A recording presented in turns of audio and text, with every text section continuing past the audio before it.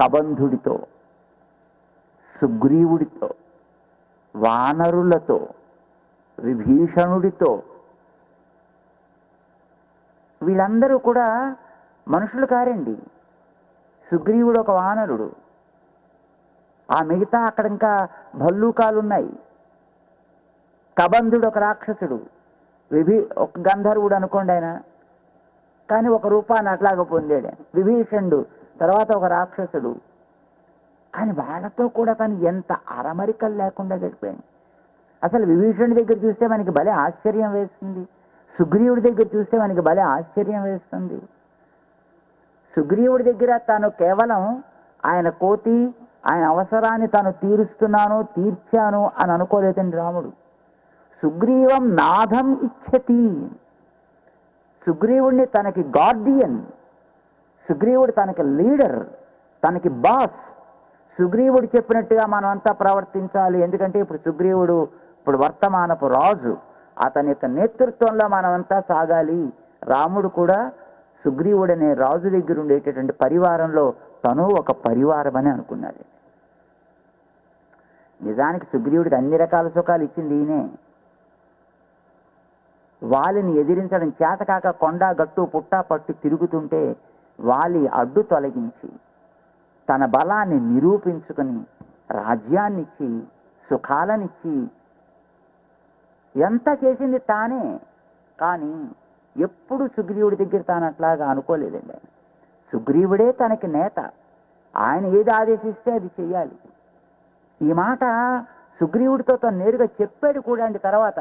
లంకా నగరం వెళ్ళినప్పుడు రావణాసురుడు ఎదురుకుండా పక్కన ఒక కొండ మీద కనిపిస్తే రాముడు వెనక ఉండే సుగ్రీవుడు పట్టలేక వాడిని చూసి అమాంతం వాడి మీదకి ఎగిరిపోయి పట్టుకుని వాడిని చిత్రవద చేసి వచ్చాడు వచ్చి ఊరికే ఎగశ్వాస దిగశ్వాస చేస్తున్నాడు ఆయన ఆయాసపడుతున్నాడు. చూశాడు రాముడు ఇదేంటయా అంటే అగో చూడు అక్కడ ఎదురుకుండా వాడు కనిపించాడు అక్కడ. నేను తట్టుకో లంకలోకి అడుగుపెట్టిన మొదటి రోజు అనమాట నీకింత హాని చేసినటువంటి వాడిని చూస్తే నేను తట్టుకోలేకపోయాను అన్నాడు సుగ్రీవుడు. అమ్మమ్మ ఎంత పని చేసావయా కొంప ముంచేసేది కదా నువ్వు చేసిన పని? నువ్వు మా అందరికీ తల. మేమంతా నీ అంగాల్లాంటి వాళ్ళం.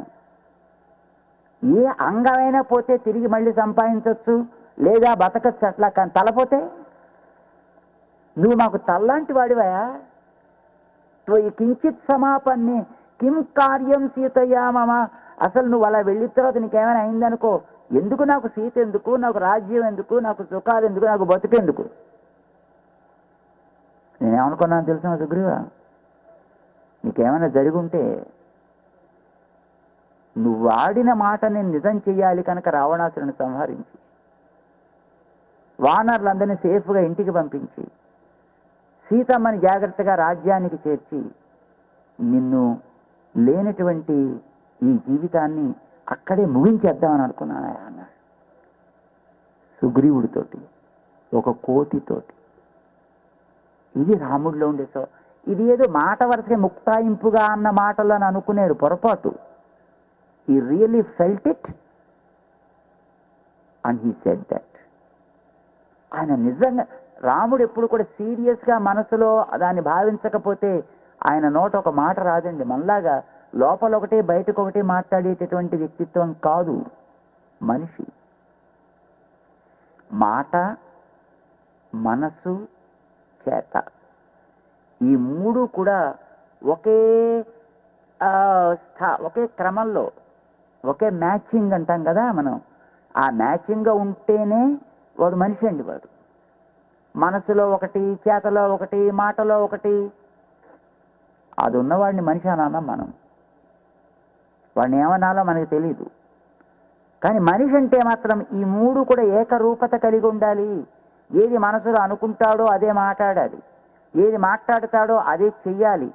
అలా ఉంటేనే వాడు మనిషి అండి. రాముడు అది ఉన్నవాడు. అది చూపించాడు. ఒకసారి కాదు అనేక సార్లు చూపించాడు.